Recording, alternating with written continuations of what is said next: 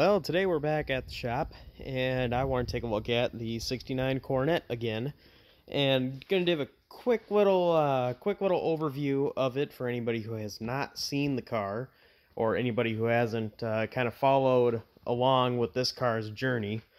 And obviously, there's a lot yet to do with this car, but long story short, this car came out from a deal in Arizona where we bought six cars and a 426 Hemi. We have five out of the six cars still, but we sold one car, which was a 69 Roadrunner, and we sold the 426 Hemi. So this is, as you could uh, see by the badging and what it is, a Coronet 500. Uh, obviously two door, it's obviously green and obviously had a vinyl top, and it's got white interior.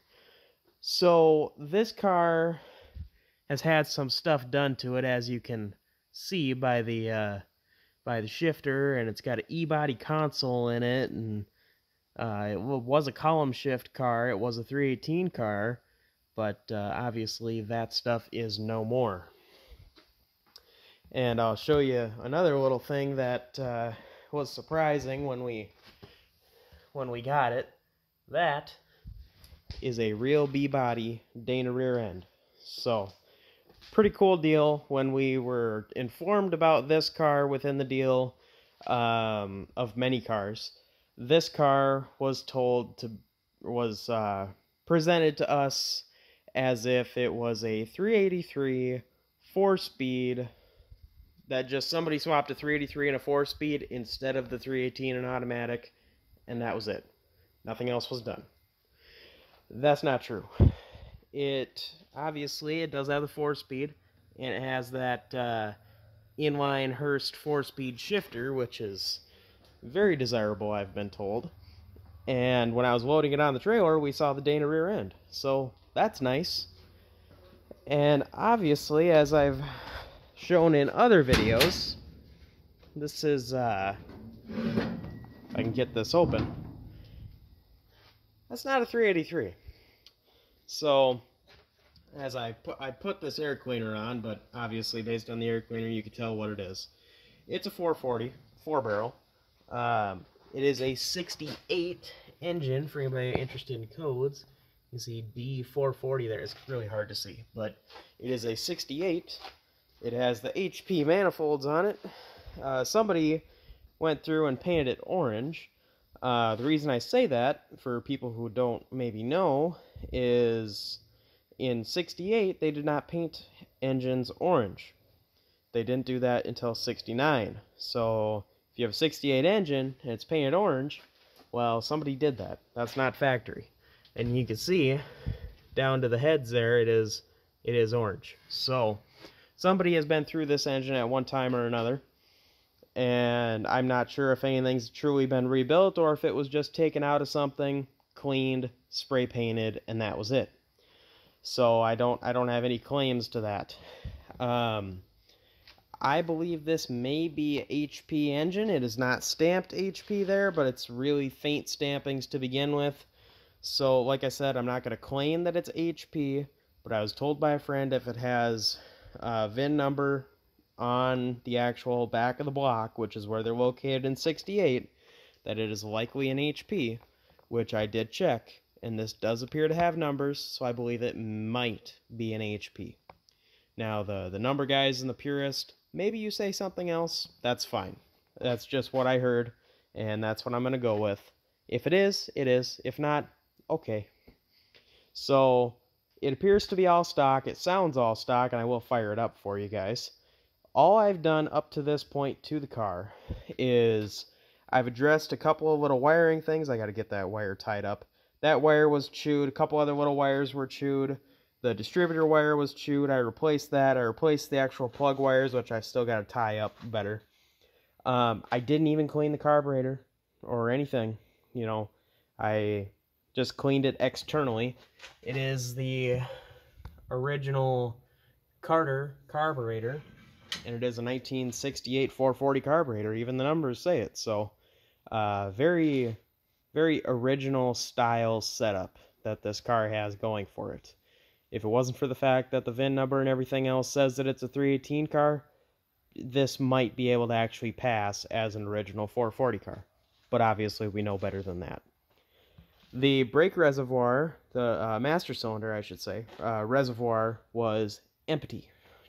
So I filled it up, pumped the brakes, and the pedal actually came back, and this thing stops amazing. And the crazy part, I didn't even bleed the brakes. It just, everything just settled. It worked. I'm going to go through before I drive it very far or for any extended periods of time, I will go through and bleed the brakes. But I was driving it around a car show. I took it up and down the road, uh, right out outside the property here a few times, and it it pulls strong. It runs good. It drives straight, and everything's fine. Um, and when I first got it, when we first got it, I should say, me and my dad, uh, none of the electronics worked. None.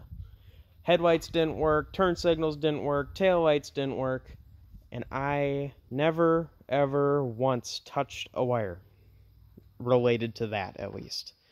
But, as I'll show you in a minute, both turn signals work, brake lights work, headlights work, everything. The only thing it doesn't work is the reverse light, and that's because the uh, the shifter, I believe, bypassed that wiring.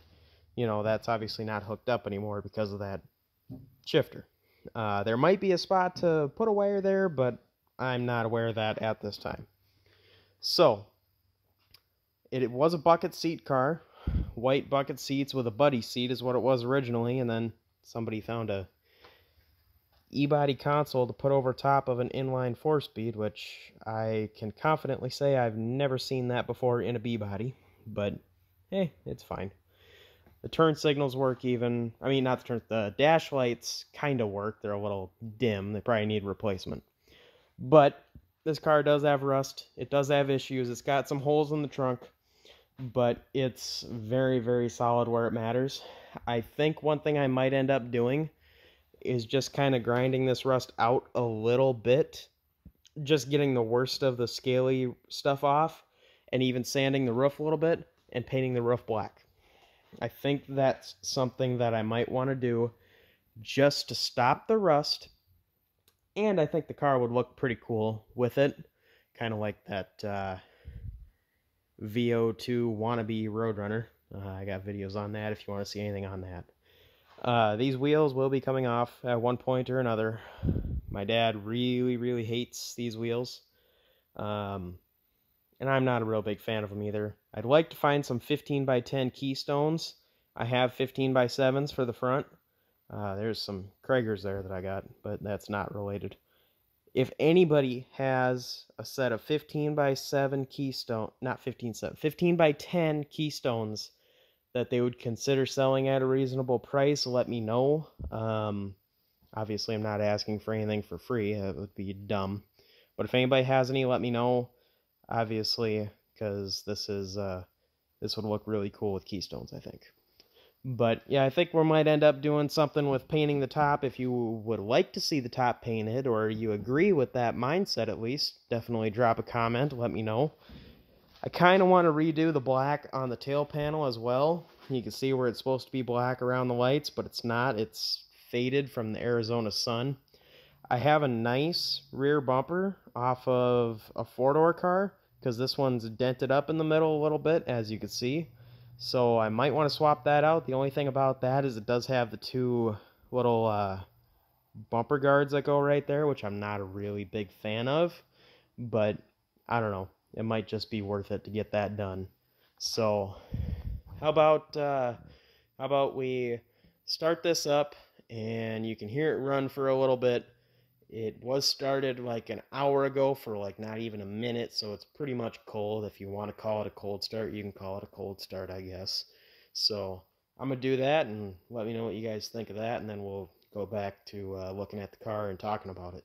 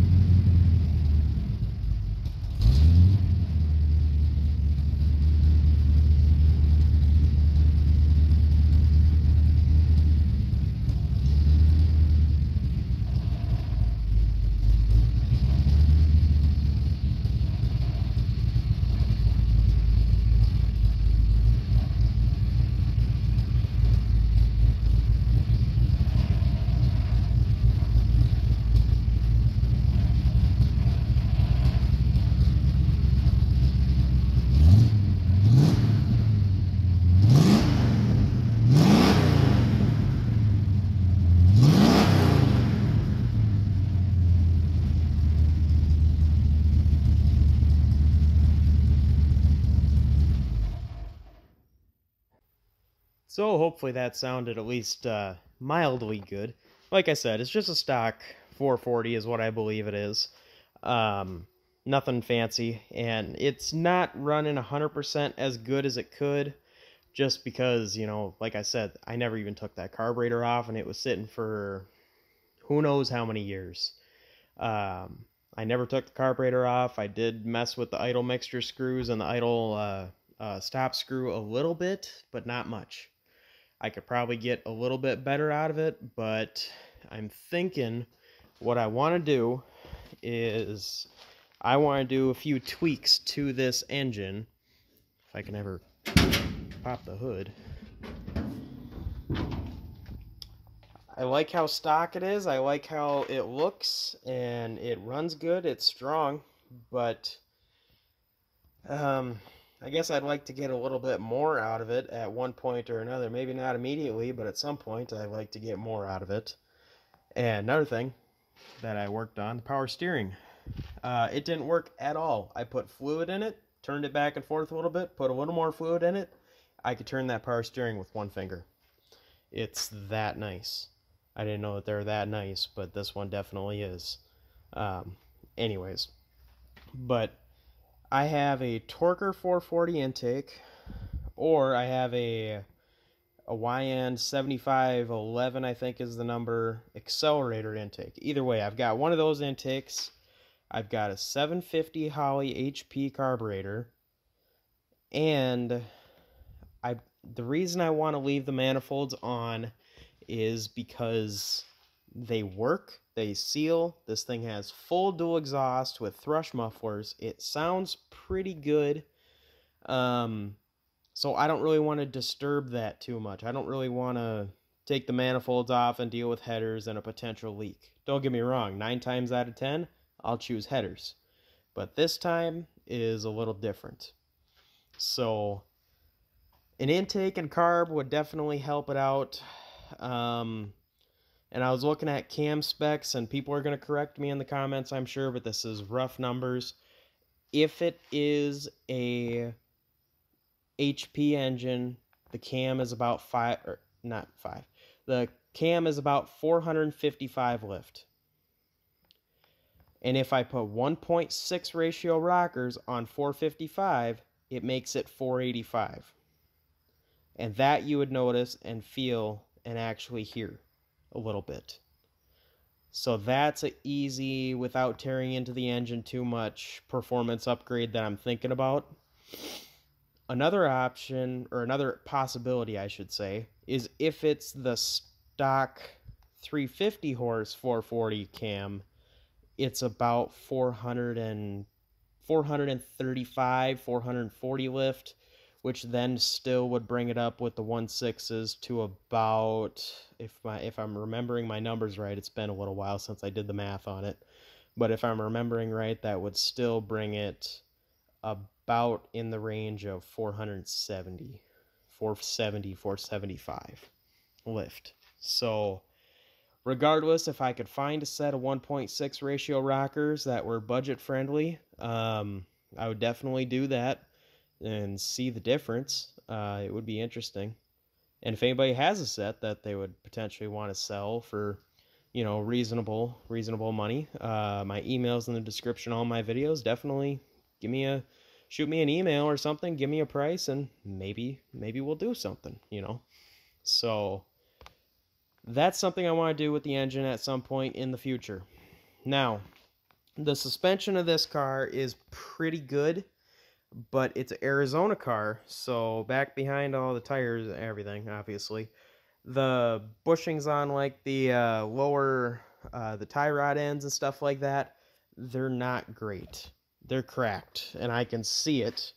Uh, you probably can't see it through here, but I can see it when I've been underneath the car, and they would probably be fine like that for a while, but whenever I dig into the car deeper, it would be something that I would probably address.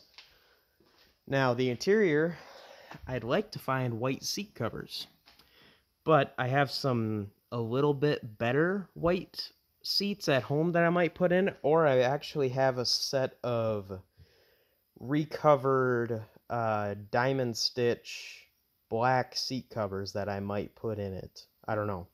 The reason I don't want to use these seats is because, like I said, the car's from Arizona. This is the actual seat foam right here. You're not supposed to be able to push on it that hard and it not move. so they're not comfortable and they crumble when you sit in them a little bit. So these have got to be stripped down to the cores and redone, which is fine. We got cars that'll need cores. Uh, steering wheel I want to address. I have a black 69 B-body steering wheel. Uh, so I could put that in there. This is like a 68, I believe, base model, two-door post, bottom of the barrel Roadrunner, or even like a Belvedere uh, steering wheel. This one's this one's just bad. Um, I'd like to try to find a radio to put in it. The gauges I do mostly trust. The gas gauge mostly works but I want to get maybe for under the dash or maybe in the dash if I could do so tastefully. I would like to get a tach and a water temperature gauge. So then I've just got a little bit more security whenever I'm driving it around so that I'm not quite as worried. Because like the 69 Roadrunner, if you remember that car, the B7 Blue 4-speed car, that car the gauges work, but there's some sort of wiring issue and I don't trust them because the uh, the the temperature gauge will go from sitting about middle, it'll just randomly spike and then drop back down to zero, and then it'll sit in the middle where it should, and then if I turn the headlights on, it'll spike, and it's it's just screwy. There's a wire crossed or something wrong with that. Um, so obviously I don't think that there's anything wrong with the wiring on this, but a secondary a secondary gauge just to make sure would be nice. I'll just I'll just leave it at that. But I want to get the bumpers and the trim and everything polished up and I think that it would look good with a black top. So let me know what you guys think. I know this has kind of been a long drawn out, not a whole lot happening kind of video. Um, but I've been just trying to get videos out. I've been trying to do more stuff. And one more little thing is for anybody watching to the end here and anybody going to the 2023 No Name Nationals, I will be there. I won't have a car, I won't be racing, but I will be there with Mark from Bigfoots and Mopars, and I'll be hanging out there and I'll be doing stuff and saying hi to people. And uh, I'm potentially working on a deal where I might have some shirts there for people to buy if they're interested. So I don't know. Keep an eye out for me if anybody wants to say hi. You know, definitely don't hesitate. I'm more than happy to talk cars with people. So, hope to see a few of you guys there. It's uh, Sikeston, Missouri. It's a racing YouTube event. Spectators are allowed. You can walk through the pits. You can actually uh, talk with people, you know, that you watch their videos. So, it's a really cool event. But definitely check that out if you haven't already. It's called the No Name Nationals. But anyways, I hope I hope a few of you guys enjoyed this video. I know it's been drawn out, but I'll leave it there. Definitely consider liking, subscribing, all that other fun stuff. And leave a comment. What would you do with this car? But anyways, I'll see you guys in the next one.